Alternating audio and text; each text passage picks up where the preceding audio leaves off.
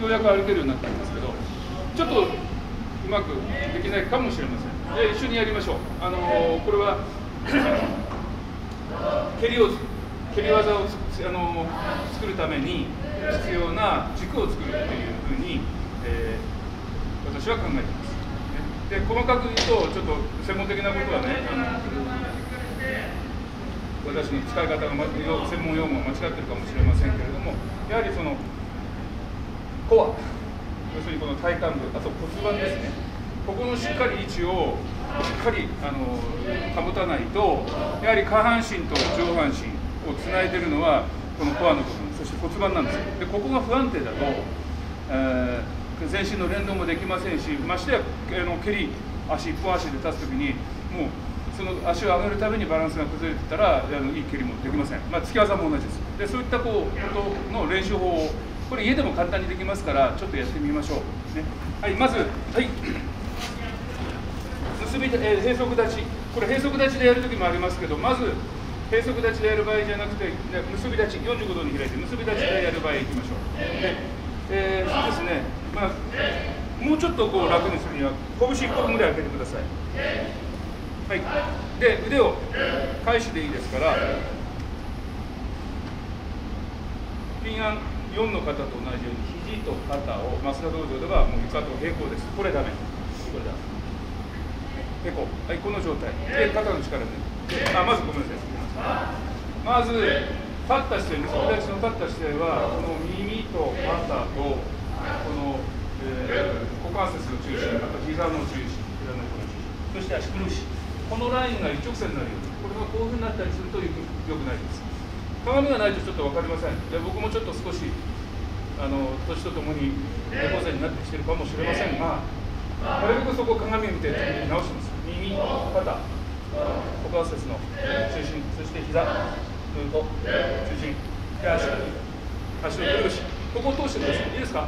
これどっかで見ておいてください、はい、この状態でもう一度正面見てこの回でまずゆっくりやることです。ゆっくりこの手を動かさずに右足を上げてこれ僕もここに神経障害があるのですいません。皆さんの方がうまいかもしれない。子供にやらせると子供たちの方がうまいですこれを膝を肘につける。ゆっくり下ろす。深い上げて下ろす。上げて下ろす。上げるのもゆっくり。下げるのもゆっくり。でこの軸足の中心は足の甲足の甲がねそこにあるこういうグラフにします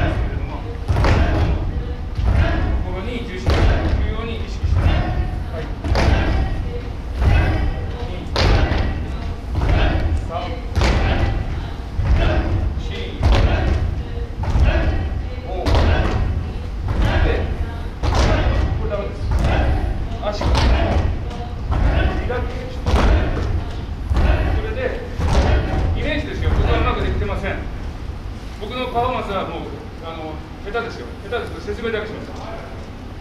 この足がこの膝が上から吊るされててそこからヒーッと紐で引っ張られるように上げてください、ね、でそれを紐でこの紐がイメージして紐で引っ張られるイメージがなかったらコアの筋肉インナーで筋肉で上げてないんです。もっと大きな筋肉で上げてますからそれは今言ったような最初に言ったようなその体のバランスを保あの体の安定を保つようなコアの筋肉のトレーニングになってません。もう一回はい。2 3 4 5 6 7僕のですね。であのー、体を洗いがいいかもしれないけど足に来たんですこれは蹴りがもう上手な素質があるということですね。でも僕はそれから言うと素質がない。彼らから比べると素質がない。でもでもそれ素質は努力でこういう練習をしてあとは柔軟、えー、体操とかしてなんとか努力してやるんです。で他のできない人も別に諦めないです。僕もでも中には素質がある人です。もう今少しは素質がある人です。今度ははい。45今はこの腸腰筋という筋肉使いませんでしたが今度これが前に前に足を上げるとか上げるほど腸腰筋使います。今のはあまり腸腰筋が主に使います。はい今度45はい1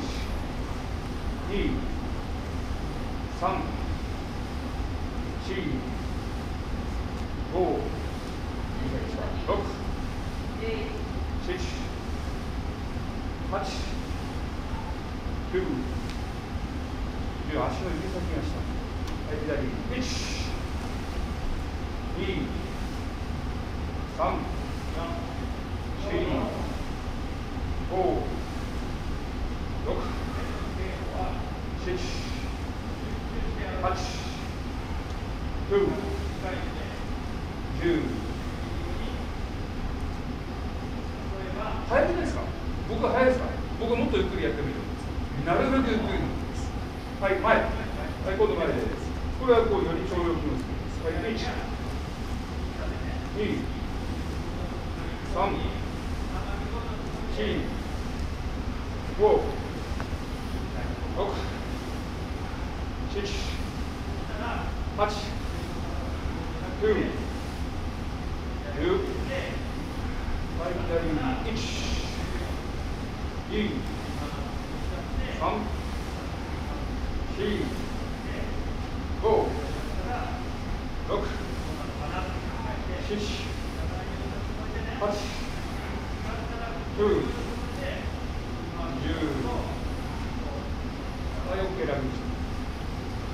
大体半分以上が僕より小さい。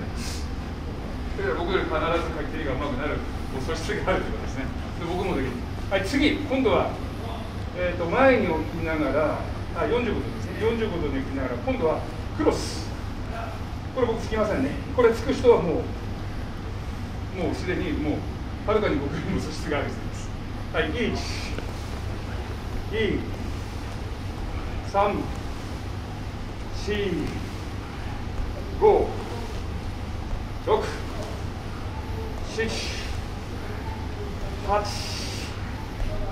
9ゆっくりないですよ。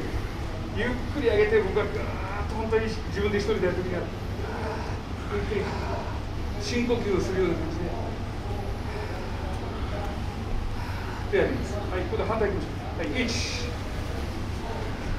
G сам G Go Dog Чич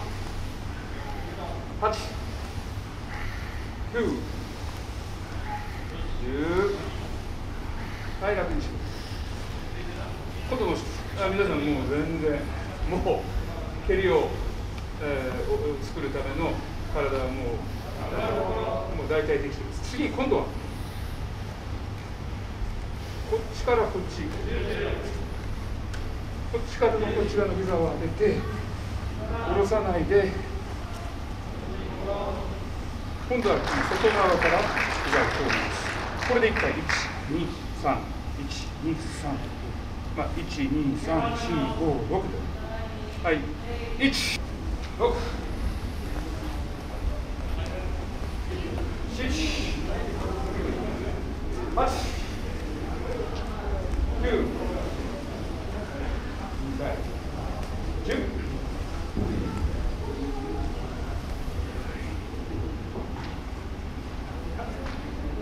あ入ってくださいはいはい今度反対いきましょうはい1はい2 3 4 5 6 7 8 9 10はい楽にしてパッと見た感じ。僕よりも蹴りをするための、えー、措置はいいと思います。で、えー、これができる人はもう必ず切り技がかかるんです。ただし、えーと、これはコアナの筋肉を意識したトレーニングですから、えー、コアの筋肉だけじゃなくてそのアウターの筋肉も必要なんです。で僕は正直言って皆さんよりもこれがもう体が硬くなってるし、えー、コアがちょっと使えてない。これ伸縮系障害もあるし今腰も痛いし、まあ、言い訳ばっかりですけどあまりそっちがないです。でそれをカバーしてるのはアウターの筋肉です。アウターの筋肉が強いから強い蹴りがあるんです。でも本当はそのアウターの筋肉だけじゃなくてインナーがやっぱり支えてますんでインナーが強くなればより安定してそしてアウターの筋肉も合体させていい蹴りがなるんですね。で皆さんはもしかしたら今蹴り十分あの素質ありますから練習すれば蹴りはもっとうまく速く強くなるんですけれどももし強くなってないとしたらあのアウターの筋肉ばっかりつけてもダメですよ。アウターの筋肉のトレーニングがちょっと足りないんだと思うんですね。まあちょっとそれをなんとなくこうマスダメソットですから頭の中に入れておいてください。で今の動きをどういうふうに応用するかっていうと例えばこう構えて45度に上げればそれはここから軸を安定まず軸を作ってで骨盤を回す。で風かます。これが回し蹴りです。でこれ前こう上げる、ね、これが中段膝蹴りになる。両段膝蹴りになる両段前蹴りになるということですでそのもっと、えー、基本基礎的な動きを今トレーニングしたわけですね。で基礎的な動きがまずできてないのに筋肉の使い方ができてないのに軸ができてないのにこの足だけ放り上げても間違った形がついちゃうかもしれない下手すればあまああの何も空手とかやったことない人体力ない人人が無理やり上段回し蹴りの練習をしてあの頑張ろうと思ってやるのはいいんですけども怪我をすることになります。で怪我をしたらもう体嫌いになりますからこれには無理だと思います。ストップかかります。心の中で。そういうことがないようにちゃんと順序立ててあの自分の状態を、ね、さっき言ったようにあの僕はあの体が悪いからこういう基礎練習もう一回原点に立ち戻ってやらなきゃいけないんです。年も年だし。そうじゃないとアウターも弱くなってるしアウターだけに頼ったらいろんなところにしょうがない。だからもっと原点に立ち戻ってインナーから鍛えたんです。で今ほとんどの半分の人が僕よりもそういいインナー持ってますから。バランスよくね。自分の体をちゃんとあの使い使いこなすための素質を持ってますから。で本当はあのそういう人はいいんです。だけどそうじゃない人たちに空手の蹴りとかを教えるときにやっぱこういう順番で教えていかないとただ回し蹴りこういうふうに蹴るんだってやってたらできないし体痛めるし嫌いになりますでこれは人事じゃないんですよ。皆さんも必ず怪我をする時もあるし年を取る時もあるしまたそういう仲間とあのうまく蹴りができない仲間に出会うこともあるかもしれません。けどそういう時に優しく指導してあげてください。できるよって。でいいですか？でもう一つ。この動きはこれは内回し。これは外回し、ね、外側外回し。